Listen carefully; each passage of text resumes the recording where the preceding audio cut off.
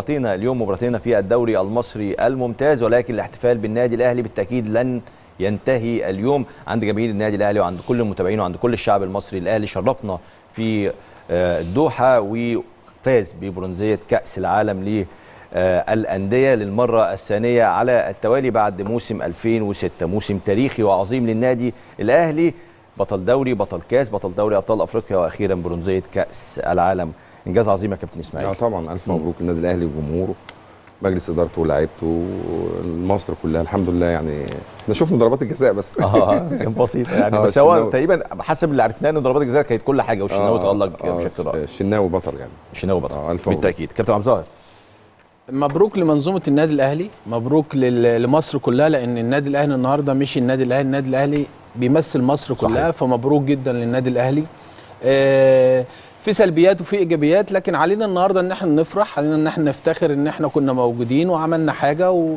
وإن في فريق من مصر آه، موجود في في في احتفال زي ده وده شرف كبير لأي آه، بلد يكون فيها فريق يكون موجود في المكان ده زي ما أنا قلت لك أنا مفتخر جدا النادي الأهلي النهارده إن هو خد المركز الثالث ومبروك ليهم مبروك لينا كلنا وعلينا إن إحنا نفرح النهارده. صحيح. كابتن زيدان. مبروك طبعا للنادي الأهلي. حاجة مشرفة تاني مرة في تاريخه. آه، يعني حدث كبير ومهم والأهلي بيمثل آه، بيمثل مصر كلها. يعني أكيد كل المصريين كانوا يتمنوا تشريف كويس. النادي الأهلي عمل مباراة كبيرة قدام بايرن ميونخ والنهارده يعني عمل مباراة فيها مجهود عالي جدا وباين إن هم الإجهاد كان باين على اللعيبة من المباراة اللي فاتت بس قدروا إن هم يصمدوا ويكملوا.